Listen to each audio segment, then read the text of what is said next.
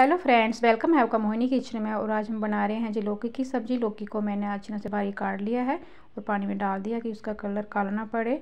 और एक टमाटर जी काट लिया है, दो हरी मिर्ची काट ली हैं और एक प्याज काट लिया लंबे साइज़ में। वो कढ़ाई रख ली है मैंने, इसमें डाल देते हैं अब सरसों का ऑयल सब्ज़ी बनाने के लिए सरसों का ऑयल यूज़ करनी इससे बहुत ही टेस्टी सब्ज़ी बनती है।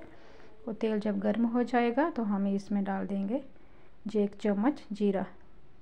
वो जीरा के चटकने पर हम डाल देते हैं। जो बारीक कटा हुआ जो प्याज था, और इसको भी हिलाते हुए हल्का सा ब्राउन कर लेंगे। और एक चम्मच डाल दिया है मैंने जी लहसुन अदरक का पेस्ट। और इसको भी थोड़ी देर चलाते हुए थोड़ा सा भूलेंगे कि अच्छा सा फ्लेवर आ जाए।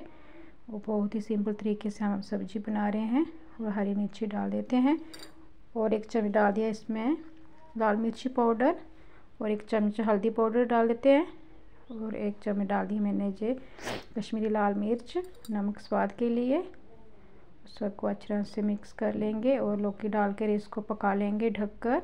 उल्टे पलटते हुए इसको मिक्स कर लेंगे। सारा मसाला इसके साथ लग जाए और बहुत ही सिंपल तरीके से बना रही हूँ। ज़्यादा मसाले का मैं इस्तेमाल नहीं कर रही हूँ और सुबह के जल्दबाजी में अभी झटक पट बनाएँ। इस तरह से ये सब्ज़ी बहुत ही टेस्टी बनती है।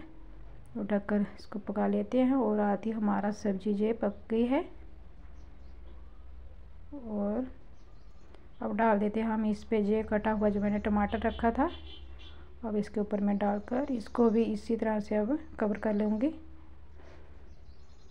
पाँच सात मिनट के लिए देखेंगे हमारा टमाटर कितने अच्छे से सॉफ्ट हो गया है, बहुत अच्छे से सॉफ्ट हो गया है। इसको हम जो कड़छी से इसको अच्छे से तोड़ देंगे और अच्छे से मिक्स कर लेंगे। बहुत ही आसानी से हमारी जो चटपटी सब्ज़ी बन गई है, बहुत जल्दी बन जाती है। और इस तरह से आप भी एक बार ट्राई कीजिएगा। और इसमें बहुत सारा पानी था। पानी हमारा देखो, इसमें सब्ज़ी बन के रेडी हो गई है।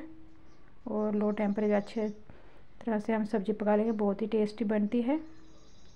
हमारी सब्ज़ी बन के बिल्कुल रेडी हो गई है। और डाल देते हैं। इसमें जो कटा हुआ हरा धनिया और एक चम्मच डाल दी है मैंने। जो गरम मसाला डाल के, डालकर इसको अच्छे से मिक्स कर लेंगे। और इस तरह से बना के तो बच्चे भी चट कर जाएँगे। बहुत ही टेस्टी बनती है। और अच्छी लगे आपको हमारी ये रेसिपी तो लाइक, शेयर, सब्सक्राइब कर देना। प्यारा सा कमेंट कर देना।